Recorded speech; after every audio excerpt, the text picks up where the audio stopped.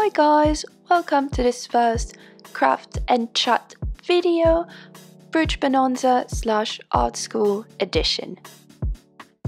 In this video, I will explain to you my general process to create brooches and answer the few questions you had about art school.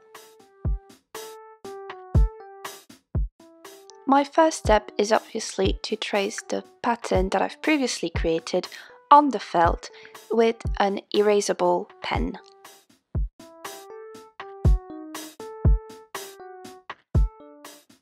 I then fold the felt two to four times, secure it with a pin, and then I cut.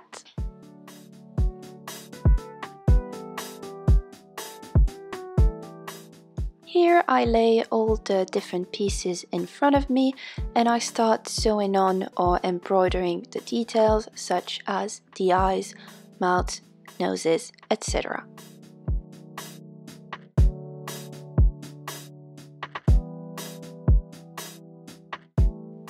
Here I don't follow a specific pattern. I like each brooch to have different eyes, a different expression, to be a little bit unique.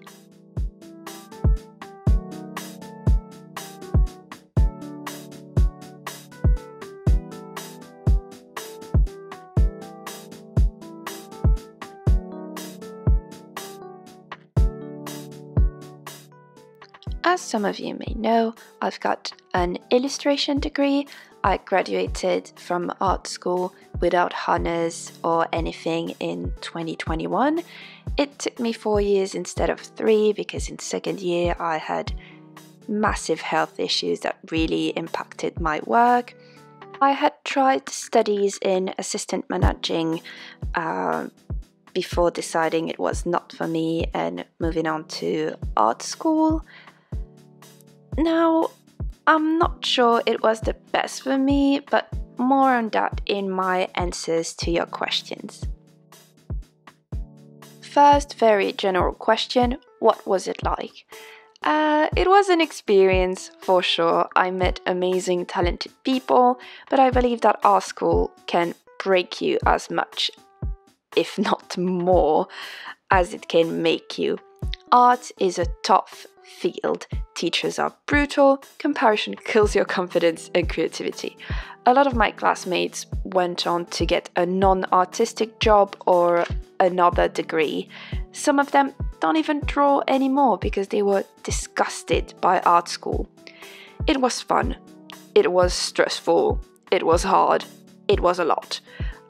Also, COVID hit towards the end of my repeated second year, and it seriously disrupted my graduating year. It was a bumpy ride. Second question is a tough one. Would you recommend it? Is it really worth it?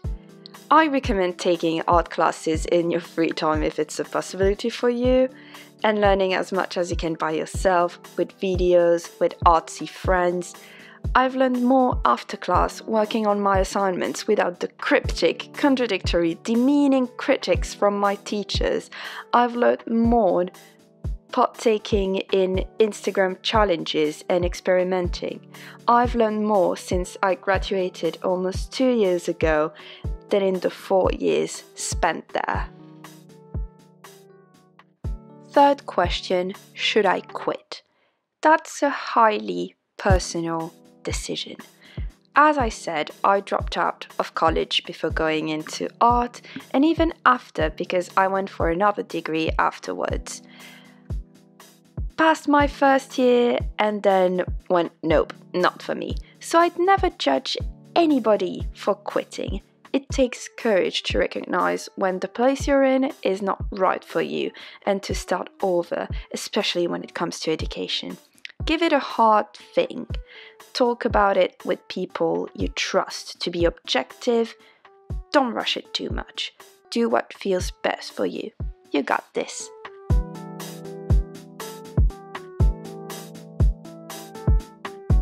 Okay, so question number four is quite a hot topic, if you allow me, because it's teacher's tea.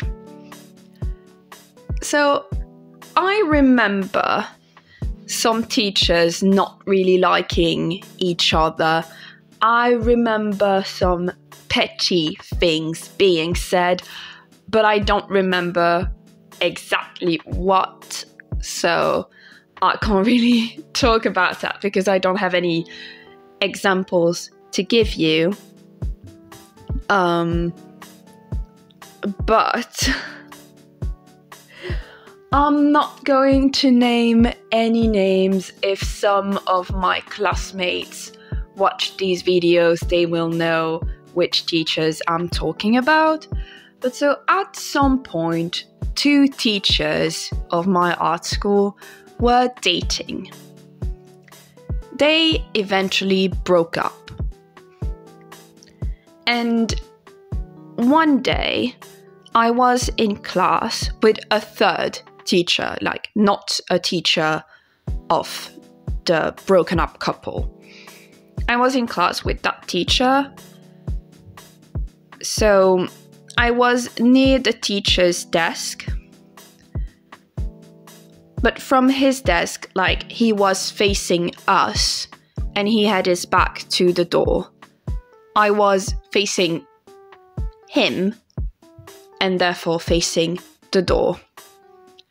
So he was at his desk talking with one of the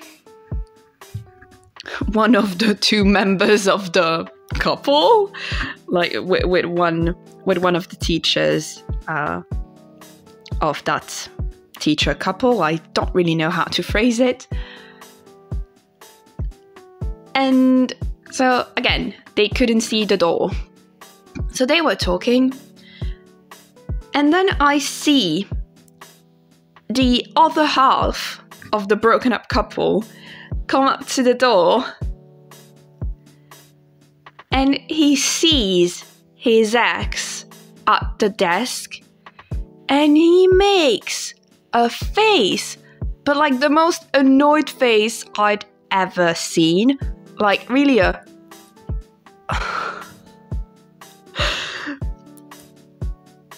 and then he saw that I had seen him.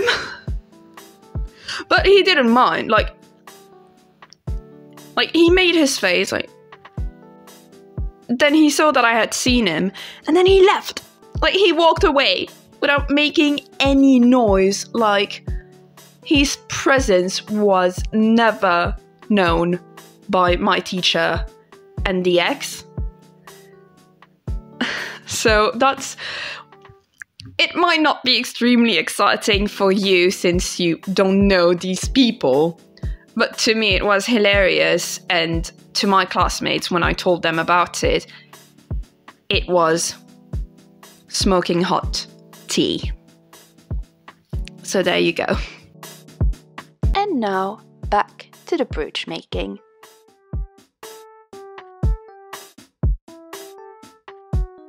Here I sew the safety pin to the back of the brooch, then I sew the back and the front together, and then it's time for the stuffing.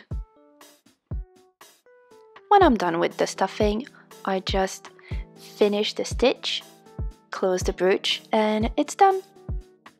The pins used on the back of the cats were not safety pins but actual brooch pins, so I sewed them in and then I put a bit of felt to cover the pin. Now comes the bit where I'm an idiot and just blow all of my brooches away. The point of this step is to make the traces of pen completely disappear. The final extra step is to put all my brooches on their little backing card.